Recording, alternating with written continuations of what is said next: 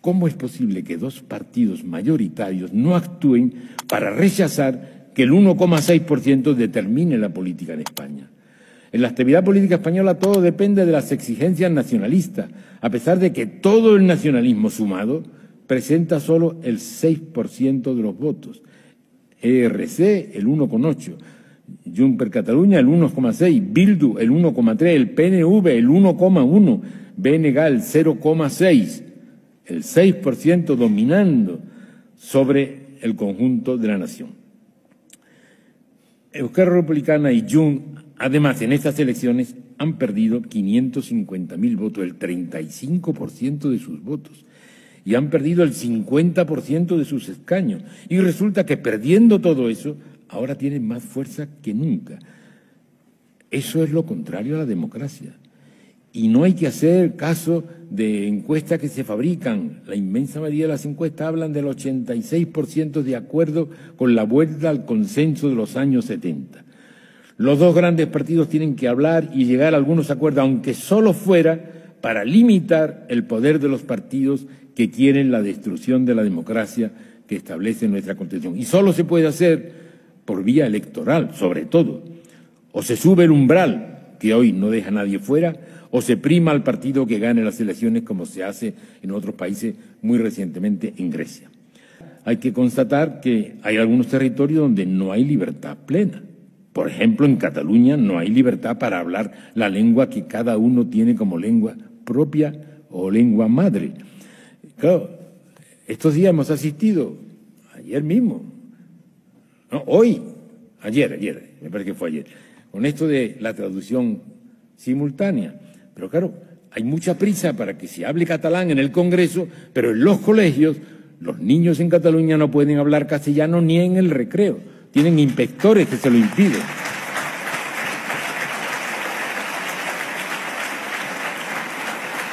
Claro. Y este, y este disloque de la traducción que han montado en el Congreso resulta que cuando habla un señor en euskera, en vasco, el, de habla catalana no lo recibe en catalán, lo recibe en español. Y cuando hablo en catalán, el gallego no lo recibe en gallego, lo recibe en español. Entonces, ¿para qué hacemos todo esto? Si todos lo reciben en español. Bueno. De ahí la necesidad de liberarnos de la dependencia de los nacionalistas contrarios al sistema democrático que establece la Constitución. Claro, aquel que advierte de estos riesgos le cae una reprimenda. No es agradable anunciarles que consideran un riesgo que en España puedan seguir condicionando las decisiones los pequeños grupos que solo buscan la destrucción de nuestra democracia. Algunos no ven lo que se nos viene encima y otros no lo quieren ver, pero el riesgo existe. Ante el riesgo para la democracia, yo no me resigno y conmigo sé que no se resignan mucho, tal vez muchos de los que están aquí. Las estructuras de los partidos han cambiado hacia la verticalidad. Los debates han desaparecido, pero tengamos esperanza. Esta situación no dudará, no puede durar, no debe durar, no durará, porque la libertad y la democracia anidan en el corazón de muchos socialistas. Muchas gracias.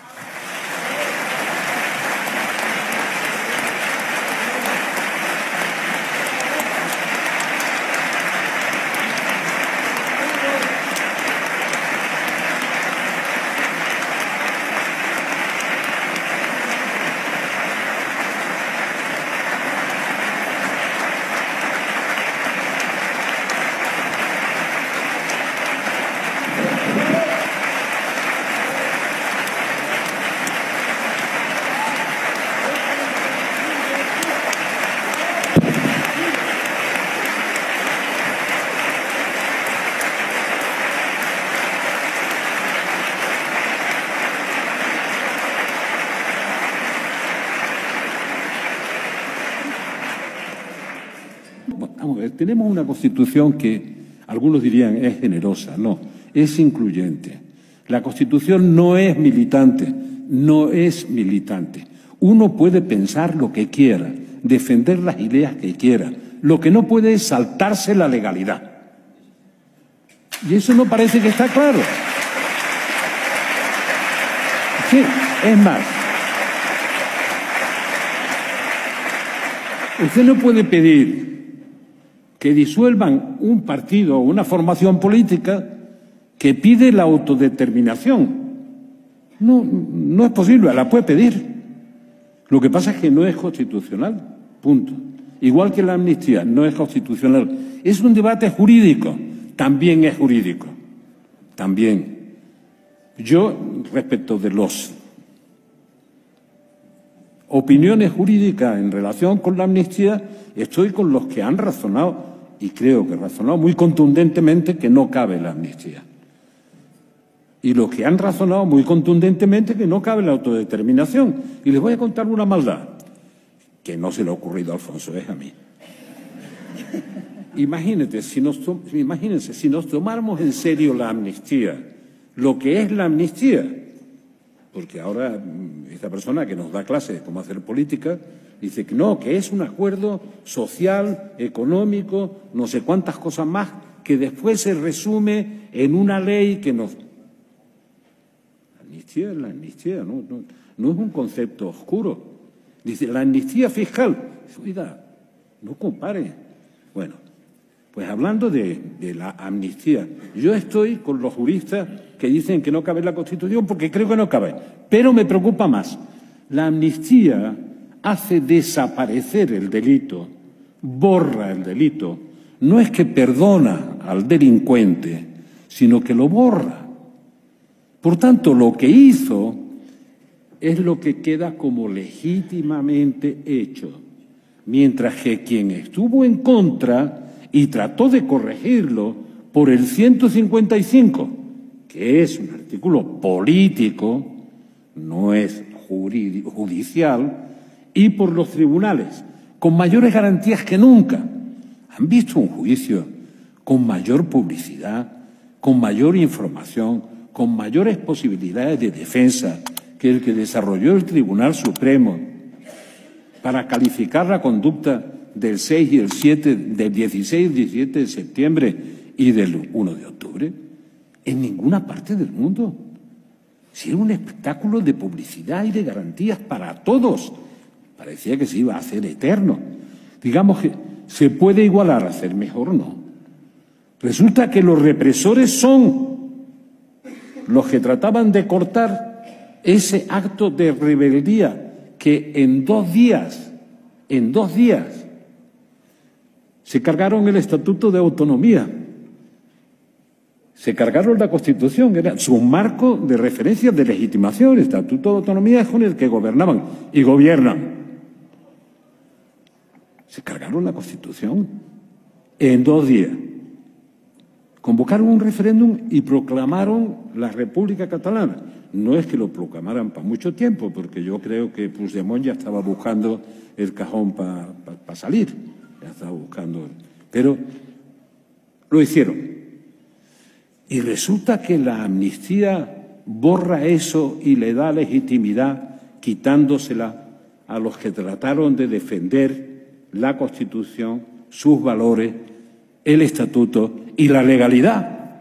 ¿Qué consecuencias puede tener? Pues tener que no, que diga que no necesitan hacer un referéndum, que ya lo hicieron y que lo que se deslegitimó fue la operación del 155 más las sentencias contra ese proceso. Lo pueden decir.